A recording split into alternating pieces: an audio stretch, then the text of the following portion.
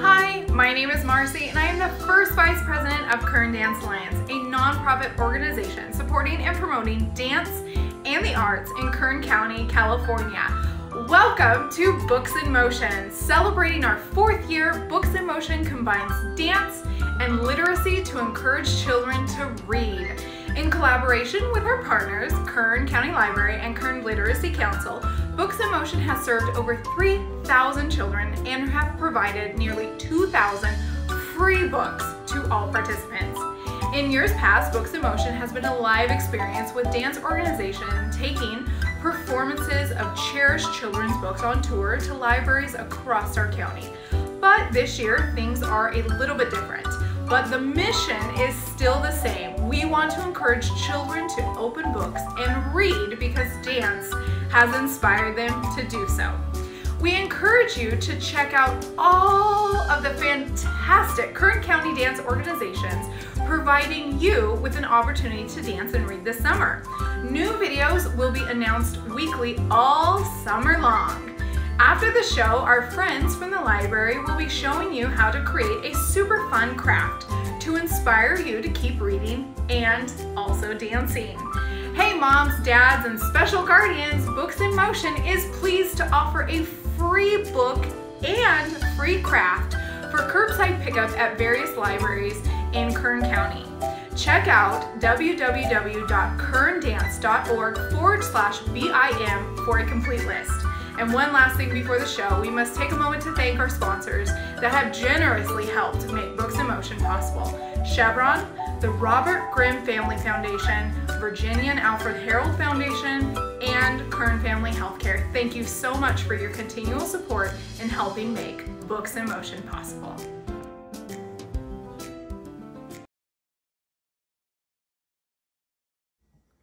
Hi, I'm Erica Uberoth, the Artistic Director of Bakersfield City Ballet, and today I'm going to read you 12 Dancing Princesses, retold and illustrated by Brigette Barrager.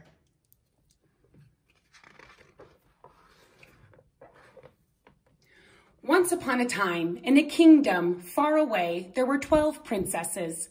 Their names were Rose, Iris, Daisy, Tulip, Petunia, Bluebell, Clover, violet, zinnia, lilac, daffodil, and poppy. Each one was lovelier than the flower she was named for. Although their lives were charmed, they had developed a mysterious problem. Every morning, without fail, the soles of the princess's shoes were worn out and full of holes. And the princesses spent every day sleeping in the palace garden, snoozing and lounging like cats in the shade. The king had to hire a cobbler especially for the princesses. His name was Pip. He worked day and night to make shoes fit for royalty. Pip liked Princess Poppy because she always told him how beautiful the new shoes were. They are so, she would say as she yawned, lovely, Pip. And then she would fall asleep again just like that. Poppy really liked Pip too, but she just couldn't keep her eyes open long enough to say so. The, the king soon became quite concerned with the princess's strange sleepy habits. How can I expect my daughters to rule the kingdom after me when they spend their days napping, he thought. So he made a proclamation, solve the mystery of the sleepy princesses and you shall have any treasure your heart desires, no matter how great. Soon, all sorts of scientists, scholars, doctors, detectives, fortune tellers, and philosophers arrived to lend their expertise. They studied the princesses while they slept, or tried to sleep. They inspected and inquired, searched and researched, examined and explored. Of course, all of this only made the princesses wearier than ever. The experts tried and tried to explain the mystery of the sleepy princesses and the worn out shoes, but they could not. If the brightest and best minds in the kingdom cannot help us, Who can? The king sighed, and great sorrow fell over the court. Only one person would not give up so easily. Pip. He devised a plan to solve the mystery and went to work immediately. That day, he made himself a pair of the softest, most silent shoes possible. And that night, after everyone had gone to bed and the castle was dark and still, Pip snuck to the princess's room, put his ear to the door, and waited. Soon he heard a stirring, rustling, swooshing sound, but not a single word, not even a whisper.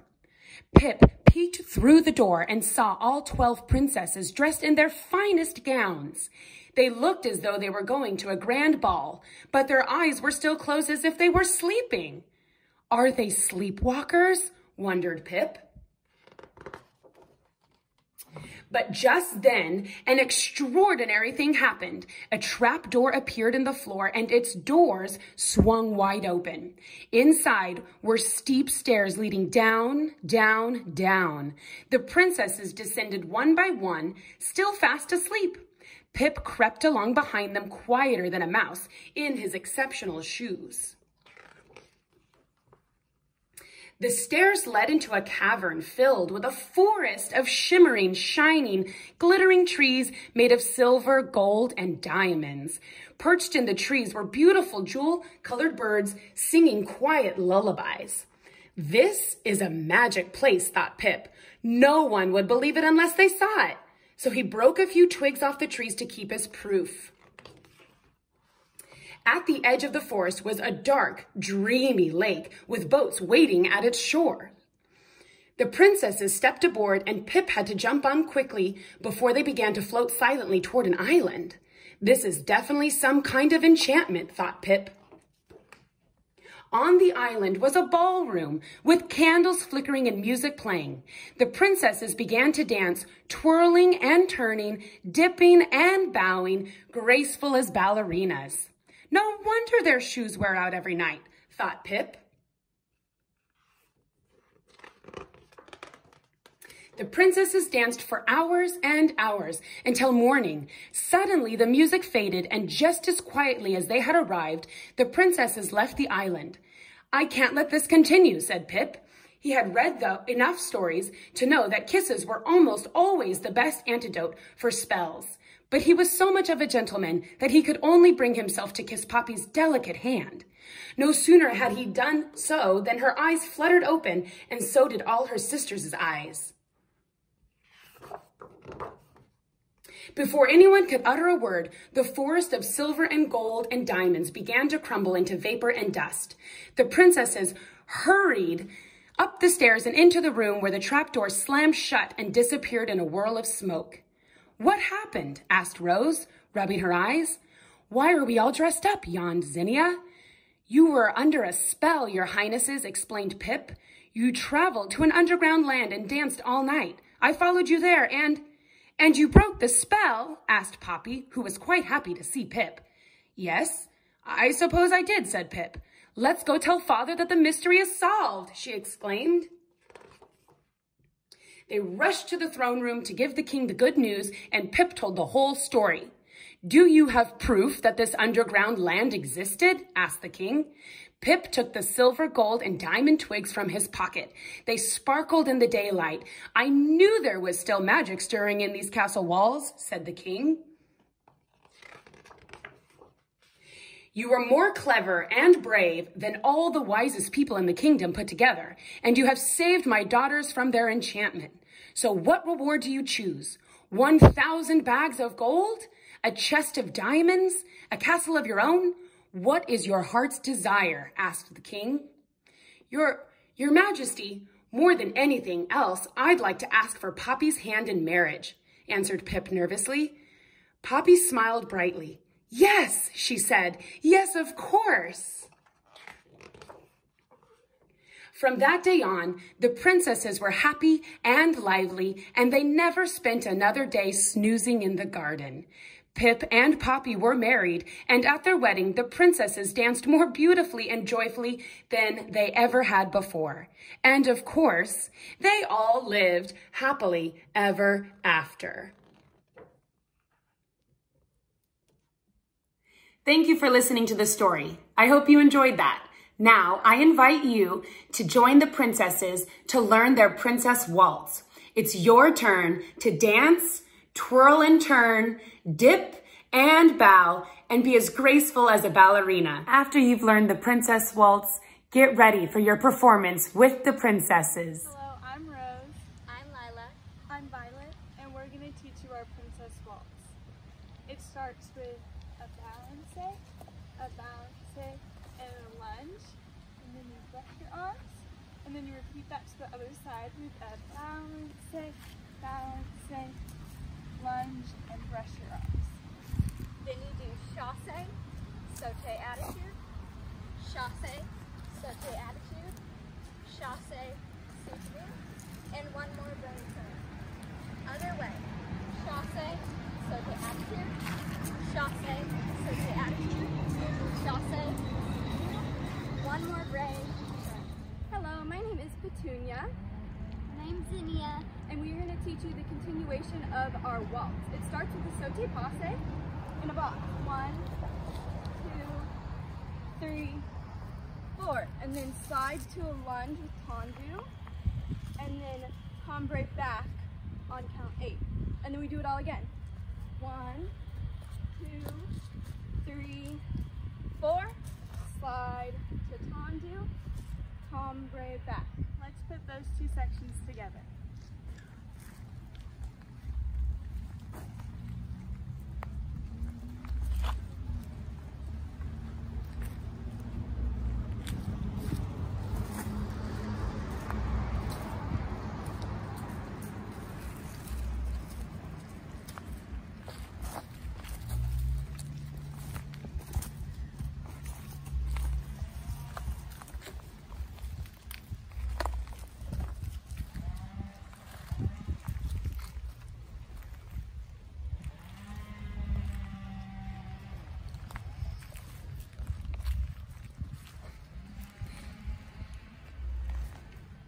Bluebell. My name's Poppy, and this is the last, last section of the waltz. How to do ray sous-sus, how to do ray sous-sus, pique passe, cross in front, glissade, sous-sus.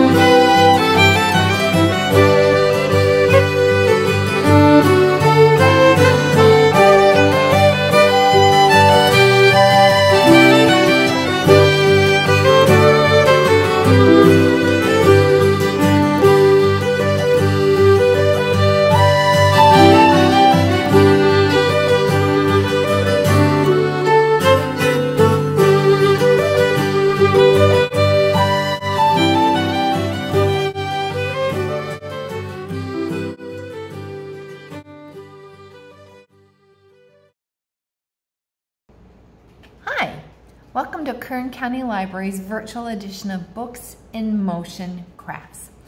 We're grateful to partner with Kern Dance Alliance and to make this possible. I hope you've enjoyed the dances from some of our talented local dance companies. Okay, so let's start with this craft.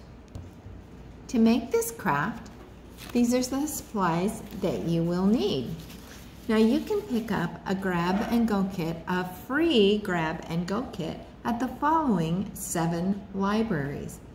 Beale Memorial Library, which is located in Bakersfield, Arvin, Delano, Taft, Tehachapi, Ridgecrest, and Kern River Valley.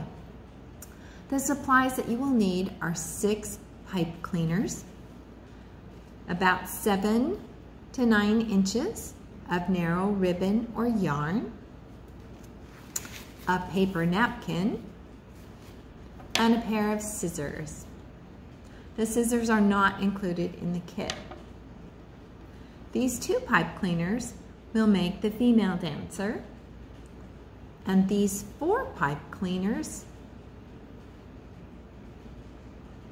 will make the male dancer.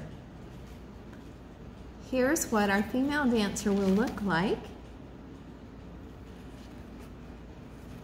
And here is what our male dancer will look like when we're finished. So let's start. First, you take your first pipe cleaner, fold it in half,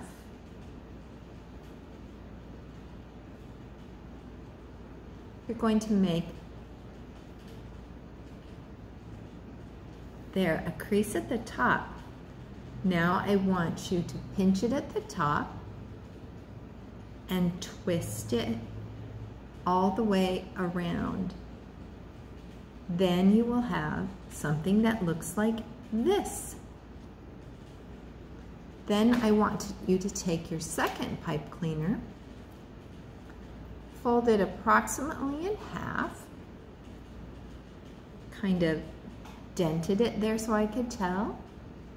I'm going to put it right here and I'm going to wrap it this way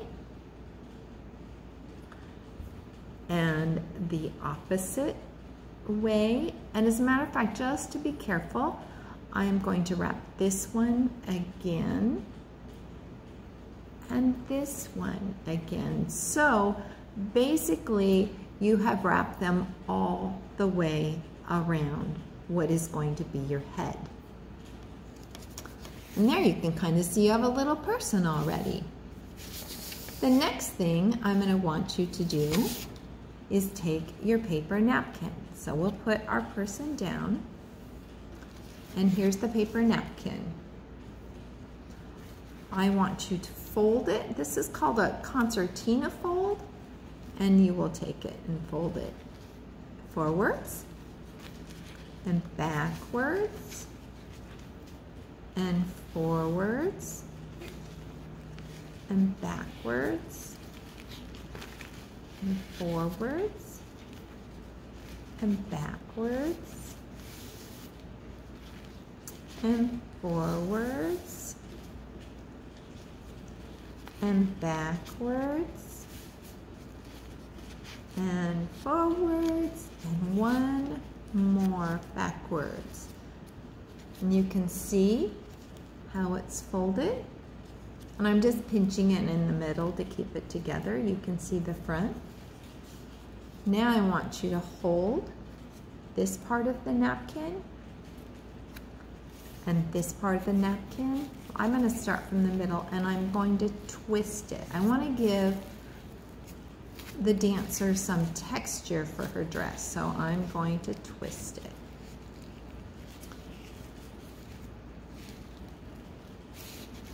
There you have a twisted napkin. Now I'm going to unfold it. And now I'm going to take my scissors and the tip, probably easier to see. And I'm gonna cut the very tip of the center off.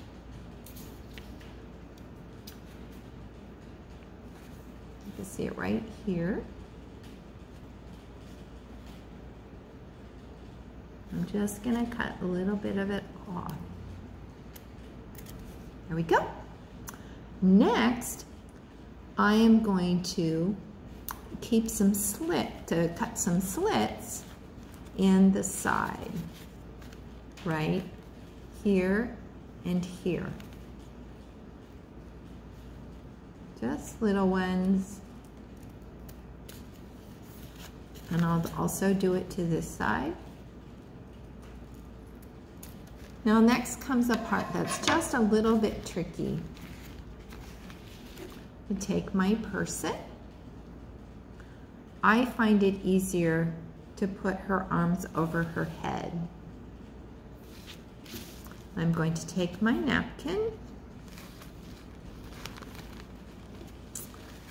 and I am going to slide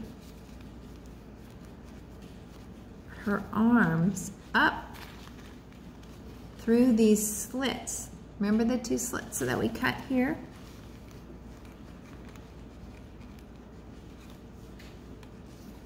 And you can see them. You see them sticking out? There, oh, looks a little bit like. And I'm gonna keep pushing and pushing because I want her head to come out of the middle. Do you see it emerging? There it is. And then I'm gonna pull gently. Now, I would like this to stay on her. So I am going to take my ribbon right here and I am going to tie it around here. You see that? And I'm going to pull it tight. I think she needs a bow in the back. So I'm going to pull it tight. You might need a little help with this. And then make a loop. Go all the way around. pull that into a bow, just like you tie your shoes. You can see there's a little bow there. Now, the next step is, notice her dress is just a little long and her legs are all the way up here. Well, I would really like her dress to not be quite so long. So I am going to take and feel where her legs are. There they are. And I am going to cut slightly curved.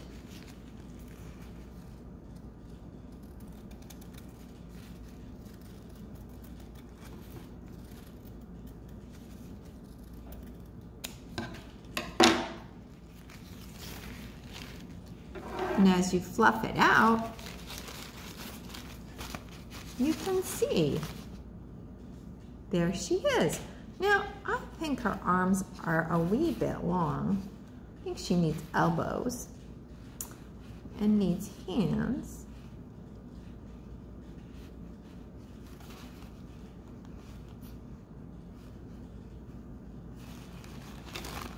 And I could choose to cut these a little bit shorter I think those are mighty long hands, so I'm gonna cut them a little bit shorter. It's a little hard to cut. And then there's still her elbows.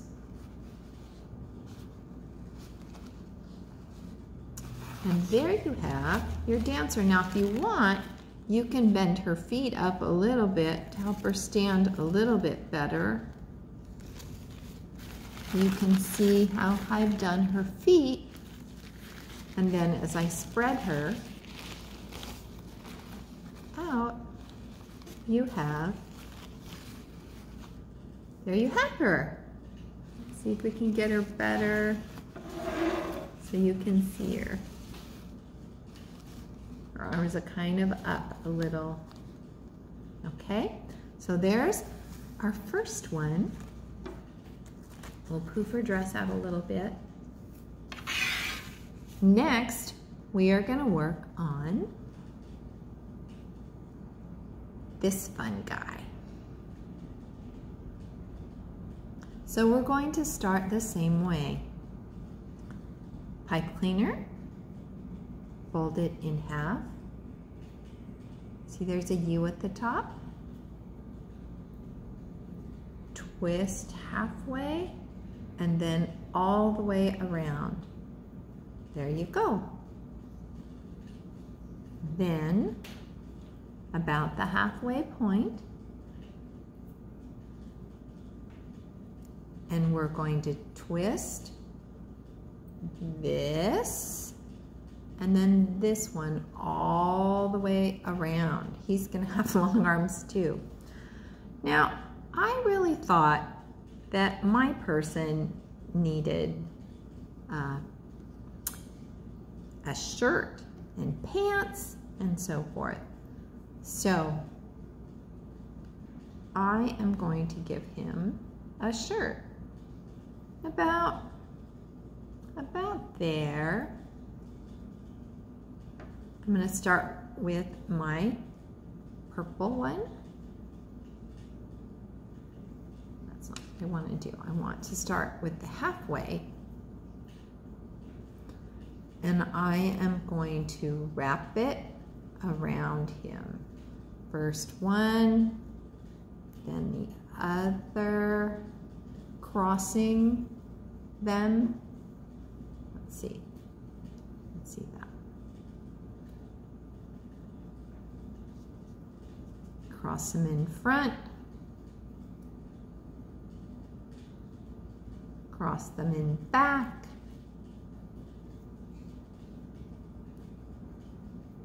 Cross them in front and cross them one more time in the back. Now I think, I think he needs a shirt. So I am going to wrap this one around this arm.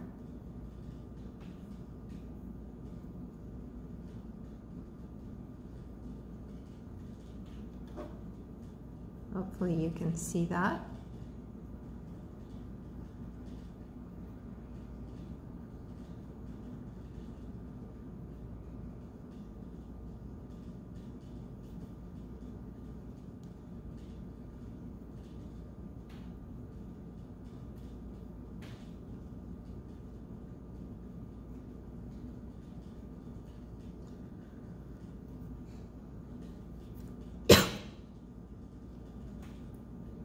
I'm going to wrap it around his other arm.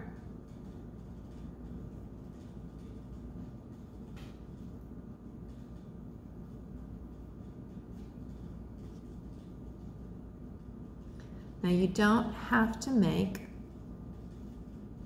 your people all the same color. You will have different colors of pipe cleaners in your kit. So he can have an orange face, and a purple body. Now what that leaves is I want to do pants for him. I think he needs some pants. So again, I will start with halfway and I'll wrap it around to give him um, a belt. After I've done one, and then I'm gonna put his leg up and his other leg up and I'm gonna wrap just like I wrapped the arms. His arms are a little bit in the way, so I'll bend them up. And around and around we go.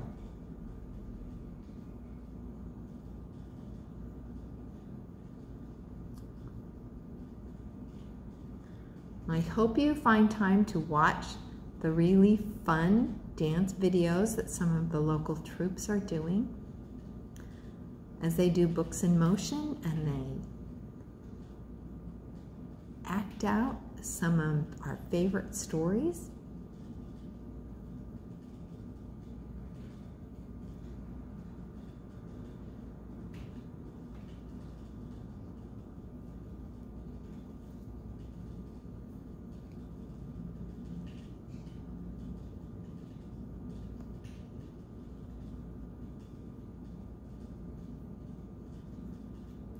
And I kind of want to have little feet, so I'm going to put his little feet up. And then I'm going to wrap this one.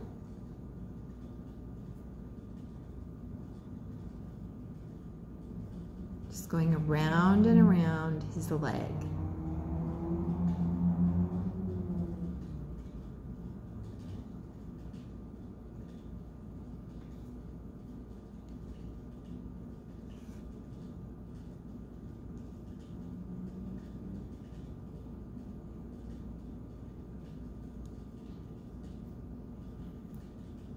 Be careful with these pipe cleaners and don't poke yourself. They can be sharp at the ends. Then I want him to have feet, so I'll bend his feet up. And I think his arms are just a wee bit too long. So I think I'm going to cut them just a little bit, just like I cut the other one. And you know, I could be fancy and give him a belt I wanted. This is the leftover from our dancers. You can see it's the same color from her, her arms. And I'll bend him so he has hands. And I think maybe he's leaping. So maybe I'll make him leap. And there you have it. Our two dancers.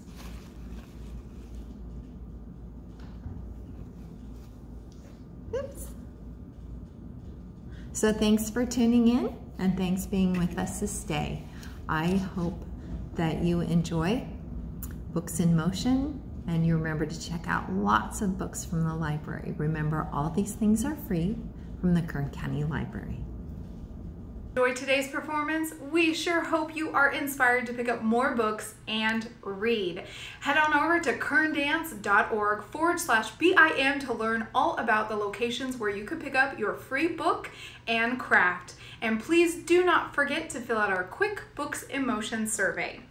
Are you interested in looking into dance lessons after today's show? Shoot us a message or contact today's dance organization directly.